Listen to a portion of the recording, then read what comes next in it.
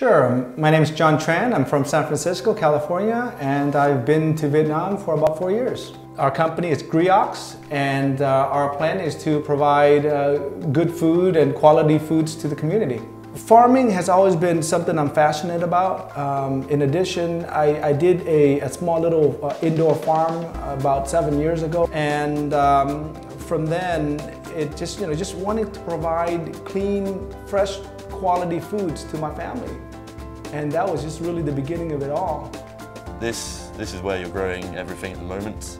Um, could you just talk us through how it works? Sure. So this is in a 40-foot shipping container.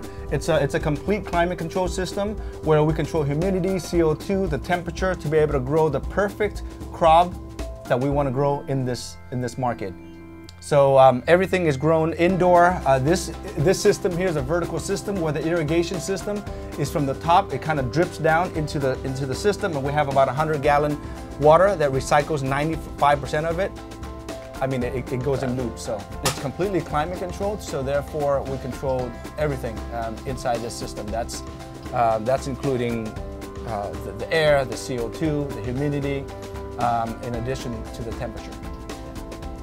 So you think this this could be the future of farming in Vietnam or, or worldwide? And I think this is uh, this will solve a lot of, of, of, the farming problem. It might not solve some of the bigger crops that we're trying to uh, we've been thinking about, but definitely for the leafy greens and, uh, and, and, some of the fruits. Uh, the outcome of the vegetables and herbs that we have grown inside this 40-foot shipping container is just almost perfect in my opinion. And it's fresh, it's non-pesticides.